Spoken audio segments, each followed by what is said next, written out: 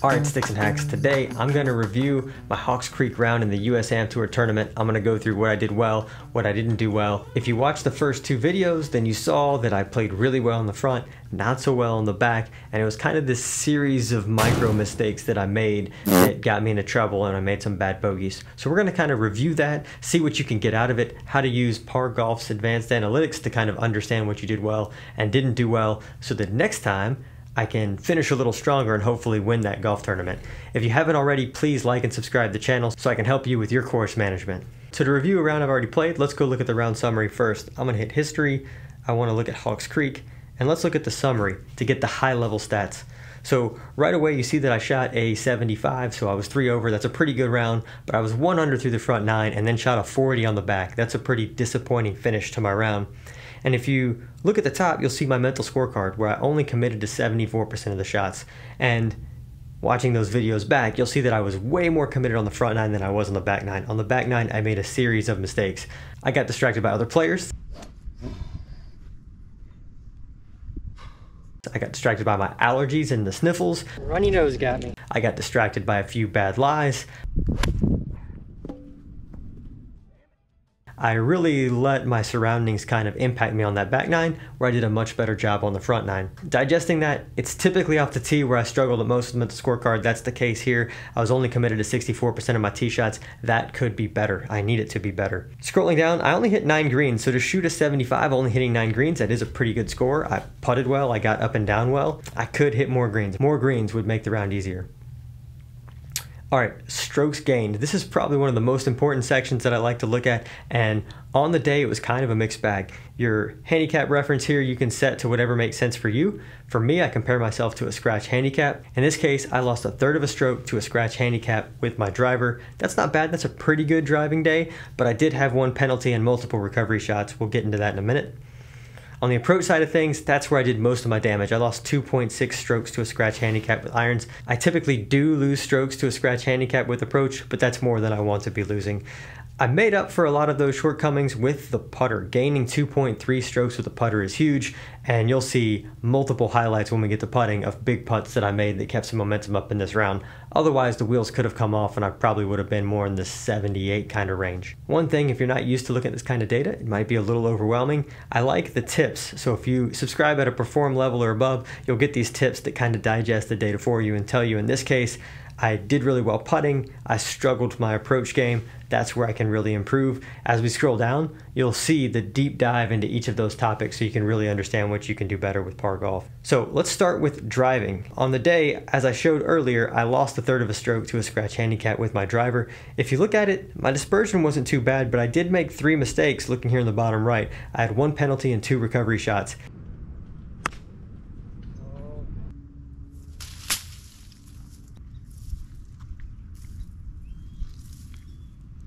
Each time those led to bogeys. I got to be better at that. If you get yourself in position off the tee, the rest of the hole is easier. I did hit the ball fairly long. I averaged 257 yards, which on this course, I hit a lot of non drivers. You'll see that I only hit driver nine times. I hit my two hybrid a couple times and my four iron a couple of times. So, good average. Uh, when I did miss the fairway, I tended to miss to the right so that's something to be aware of. I blocked a few shots, at least one getting me into a recovery situation, um, and then I did hook a few left late in the round. Again, if you look at the driving tips, it'll tell me that I drove like a 0.8 handicap today. That's great. Right now I'm playing at about a 1 handicap, so that makes sense from a driving perspective. And again, where I really need to work is to clean up on those mistakes. Scroll down a little further to the approach section. This is where I lost 2.6 strokes to a scratch handicap. So I should pay special attention here to where I'm giving those strokes away. And if I look at it, I hit 8 out of 15 greens when I had a chance. So when I didn't have a penalty or recovery, those shots are removed. I had 15 opportunities and only 53% of the time did I hit the green.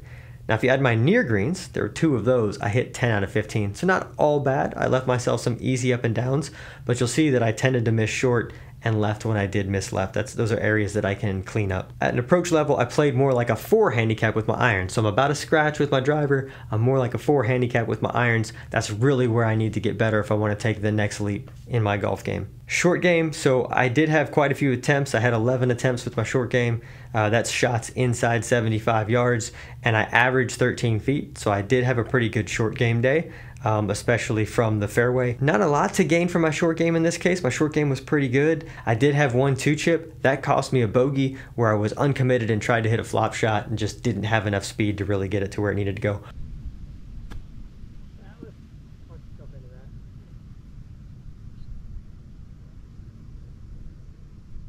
Other than that, my short game was pretty good. If you remove that one shot, my short game would have been great. But that one shot was costly.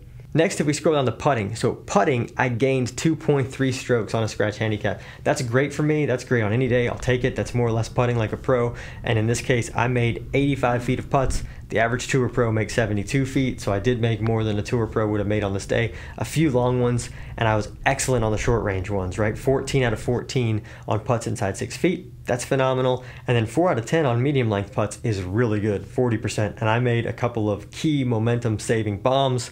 Uh, putter was really hot and really kept this round going when the wheels came off a little bit there on the back nine. So pretty happy with that. My big takeaway here is I need to work on the approach game and the driving when I get tired.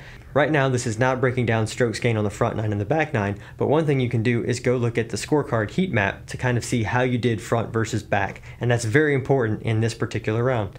What you'll see on the front is that I hit five greens, I hit five fairways, um, and if you look at the strokes gained heat map, it's a lot of green on the front nine. I hit a lot of good shots. I did have a poor approach shot on the first hole where really I chose a bad target. I aimed more or less at the flag and ended up hitting it over the green. I probably should have played a little bit more to the right of the flag, taken some yardage off of it, and I would have had a better chance to get on that green. That led to a bogey and put me short sided in a bad spot. Outside of that, the only really bad shots I had on the front nine were on the sixth hole. I blocked a tee shot under a tree. That cost me a stroke because I had to punch out from a recovery situation. Didn't get up and down and made bogey. And then on seven, I did not commit to hitting the right side of the green pulled it into that bowl, which led to my bad short game. So outside of those couple of shots, I really played well in the front nine, and that comes across. I gained 0.5 strokes on the front nine versus scratch handicap, gained 0.2 strokes with the irons, and gained 1.4 strokes putting. So overall, I gained two strokes on the scratch handicap on the front nine. I was killing it, feeling like I'm in control of the tournament. And then what happened? We got to the back nine, and on the back nine, I stuffed it on number 10 but then the wheels started coming off once we got to 11. I hit a okay drive on the right hand side, but then my allergy started really acting up. I was walking and pushing my cart. It was 103 degrees. I started getting tired. And I pulled my approach shot on the 11th hole, missed that green, had a long putt from the fringe that I didn't get close enough, and I ended up making bogey on 11. Followed that up by standing on the tee box of 12. There's a player in the fairway, in my way.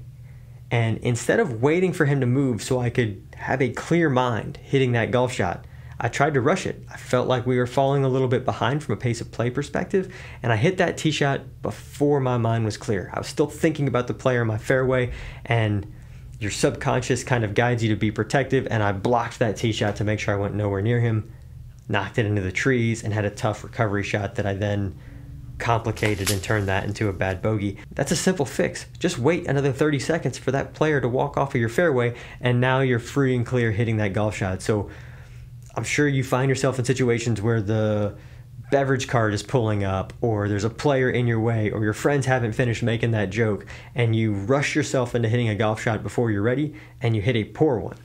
A lot of times we get kind of caught up in not wanting to be a slow player, hitting a shot too soon, but I can tell you, your pace of play is impacted worse when you hit a shot into the forest that you got to go look for versus taking that extra 30 seconds to make sure you have a clear mind and hit a good shot. So I always encourage you to think about that. If you're distracted and your mind wanders from what you're about to do, you should back up, go back through your routine, and hit the golf shot. The more committed you are and the more you practice, the quicker you can do that and the better you'll be able to tune out all of that noise. But if you do get bothered, back off. It will save you time and you'll hit a better shot. I did a poor job of that on this day. So that was a bogey on the 12th hole. On the 13th hole, I played too conservative. You got the fairway, and I was purposely trying to hit it down the right to avoid the left hand side. I did a good job of hitting it to the right, but I ended up with a poor lie with a weed behind the ball, and that's all I could think about taking the club head back. So again, little distracted. I'm afraid I'm going to chunk it. I do chunk it. Ended up getting up and down there and saving par, but I made that a lot more difficult than it needed to be, and the putter bailed me out. The 14th hole is a little bit of an aberration. When I stood on that tee, I had a good idea. I ended up just choosing the wrong club, but it was a well executed shot. I hit it in the middle of the fairway. In fact, I liked it all the way down through the fairway. The ball just didn't stop rolling. The ground's firm. We've been in a drought in Texas. That ball rolled 40 yards into a hazard, and I just didn't expect that result. What I should have done was hit a four iron and been a little more conservative. It wasn't a bad swing. Uh, it wasn't a bad decision, even. It was just the wrong club and a little bit of an unlucky bounce. That cost me a bogey. I did well not to complicate that and try to play the shot out of the hazard and made sure it was just a bogey and not a double. So you can learn from that. Don't make matters worse by trying to do too much once you've already made one mistake. Once you've made a mistake, get out, get back in position, and do your best to minimize the damage to your scorecard. And over the long run, that will benefit you and you'll shoot lower scores. After that mistake, I really got the wheels back on, played well, as you see on this heat map. Um, lots of green there until we get to the 18th hole. And the 18th hole, I hit a mediocre tee shot into the wrong fairway and made a huge mental mistake there. At that time, I'm two over. I feel like I'm in the tournament. I feel like somewhere around one or two over is going to win that golf tournament. And I tried to force the issue. I tried to hit a three wood over the trees that probably needed to cut and tried to force a draw in there. Ended up hitting it in the bunker. And then you have a 70 yard bunker shot that's very difficult. Uh, tried to kind of skinny it to not catch it fat and actually bladed it into the lip. Then it buries, and now you're in a lot of trouble. But the mistake was not even the tee shot. The mistake was the three wood from the fairway. I did not need to force it over those trees. I could have hit a five iron into the other fairway, and I would have had an easy wedge onto the green, guaranteed a par, and probably had a putt at birdie. Instead, I had to make a 15 footer just to save bogey and ended up missing the playoff by one. On the whole, I ended up losing two and a half strokes to a scratch handicap on the back nine after gaining two strokes on the front. So I gave it all back, being a little rushed and not taking my time, being distracted by the elements, other players, my allergies, whatever it was, I was not near as mentally focused on that back nine as I was on the front. I think a little bit of that is fatigue, walking in 103 degrees, pushing your cart up and down those hills, trying to keep up. I did get a little fatigued. I need to work on that. Maybe some golf fitness in there as well. But it was really those micro mental mistakes. There wasn't a single shot in this round that cost me a bogey.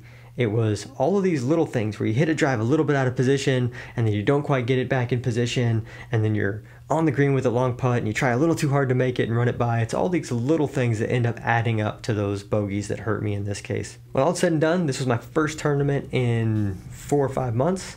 To shoot 75 and be in contention and just miss the playoff is a good feeling. I felt really in control of my golf game. Uh, just a few wild shots, a few bogeys here and there. Get those cleaned up, and I will be in great position for the next one. You can easily extract all that information from the Par Golf app. I can use all that information to play better in my next round. And really, analyzing your course management like this, finding the trends where you make mistakes or where you try to do too much, is where you're going to really start shaving shots off of your rounds. Using the Par Golf analytics after my round and just a few minutes of going over what I did and reminding myself, okay, this is when you made that decision, really pays off because the next time I'm in that position, I can be a little better. I can start to improve my mental game as well as working on the range and working on my shots and working on my ability to hit the golf ball. So it's very important to not just play the physical part of the game and hitting the golf ball, but the mental part of the game and realizing when you make those bogeys, why did you make those bogeys and what could you do better next time? Par golf helps with all of that. So start tracking your shots and you'll improve your scores. If you haven't already, like and subscribe for more content.